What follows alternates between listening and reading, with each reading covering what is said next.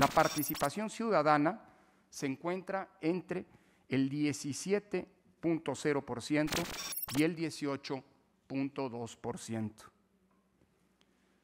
El porcentaje de cada una de las opciones de respuesta de la revocación de mandato arroja los siguientes resultados.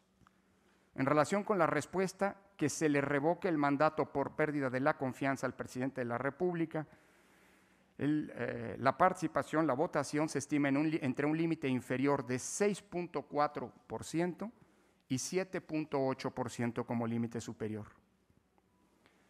Respecto de la respuesta a la pregunta que sigue en la presidencia de la, de la República, el porcentaje de votación se encuentra entre un límite inferior de 90.3% y 91.9%.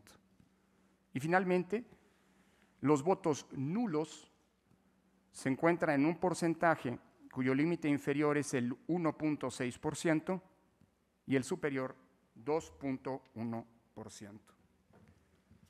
Estas cifras corresponden a un ejercicio estadístico que tiene propósitos informativos y de transparencia para abonar en la confianza pública en este ejercicio y no son aún los resultados finales del proceso de revocación de mandato, mismos que daremos a conocer en este Consejo General en las próximas horas, en cuanto hayan concluido los cómputos legales que se están realizando en los 300 consejos distritales.